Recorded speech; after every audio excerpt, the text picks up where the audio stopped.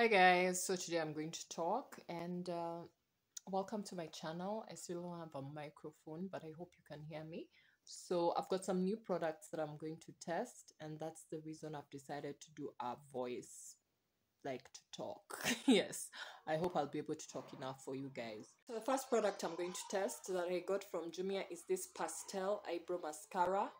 It's actually quite interesting that somebody actually thinks that um, mascara. I'm not really good at talking while doing makeup, you know. Just going to brush this away, ignore the white. What I'm going to do is that I'm going to create an outline of what I want my brows to look like.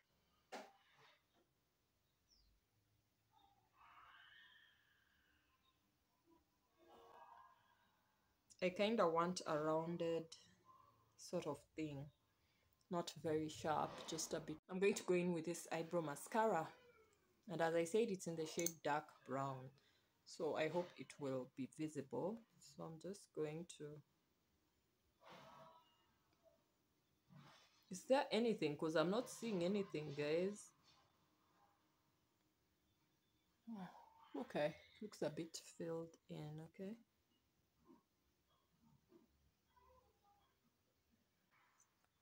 Then what I'm going to do next is that I'm going to go back with a spoolie so that I can just create, I guess, lines or something. Mm. So the next thing I'm just going to define my brows. You don't need to see that because I think you've seen that in so many videos of mine. My brush. So I'll just brush this side in and I'm gonna do the other side. Sort.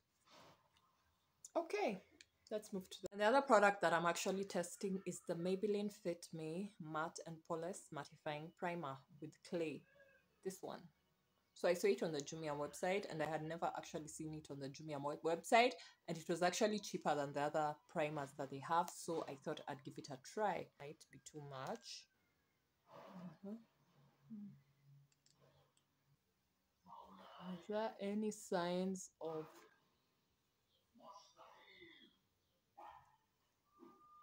Don't mind how I apply this. So you guys can even see a difference like right in front of your faces. Wow. I like it. I like it. I like it. so the next thing I'm going to do is do my eyes and what I'm going to use is the Maybelline Fit Me uh, concealer in caramel just even base on my eyes before I go in. This is also a recent purchase. Uh, I've never really liked to use Miss Rose Rose is, I think, a Chinese company, and I always see it in Best Ladies. So I got it in the Best Lady in Kitale.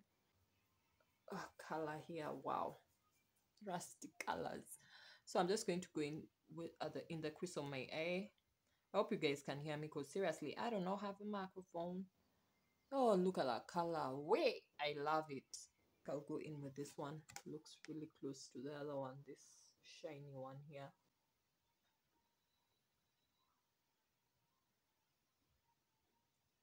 Champagne shade right there.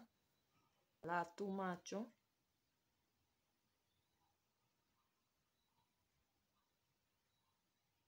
Bringing it down. See what I was talking about? Their colors are really good. I like them. Know that I'm obviously going to use a little bit of mascara. Not good. Not bad at all. So I'm going to do this with the next eye also. Yes, Joseph. I'm going to show you is the easiest trick for putting on lashes. The easiest, easiest, easiest. And for this step, you'll need this type of eyelash glue. Because it works best. So if you have this type of eyelash glue, not specifically this brand, but the type that is like, uh, it's like uh, whatever. I don't know what to call that. I don't know what to call that. It's like, yeah, an eyeliner kind of thing. So what you do instead of applying the glue on the lashes, you apply the glue on your eyes. Right on the lash line.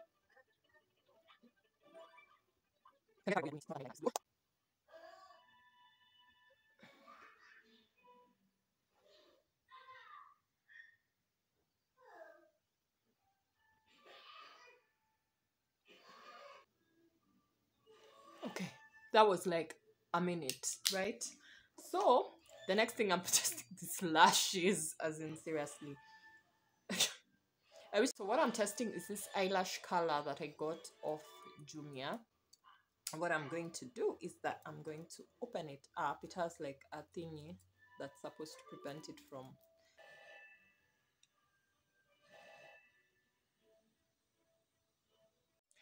okay i've attempted to curl this and i think they looked better without being curled but anyway let's just proceed. The next thing that i'm testing is actually foundation and it's the maybelline fit me. I know you guys are thinking but you always use that kind of foundation but i do not use this shade. I'm gonna go through okay this one is lighter. I have found the revlon Pecan and also the Clinique Pecan, they are the closest foundation shades to my skin. Okay, when you blend it in, it, it's actually not so bad. Shade. Okay, when you look at my neck, it doesn't look so light. But for my skin and my face, it definitely looks light. But for my neck, mm, shade of Maybelline Fit Me in the shade Caramel and I'm gonna apply it right under my eyes like now that we look like this we are going to blend all that in. Very disgusting. Don't be like me.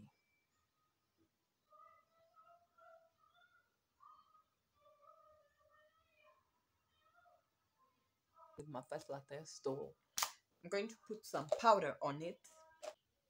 Mm, we want to look powdered.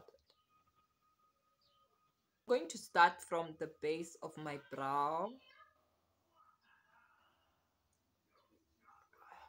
We like that.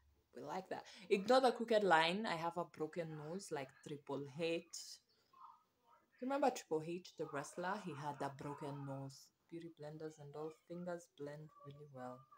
They blend so well. We're not going to go around looking like lunatics, no. So we, I'm going to use the Maybelline this Fit Me Polish powder in the shade Toffee to finish off removing the setting powder and like, you know, setting my face. I need a brush. Where's the brushes?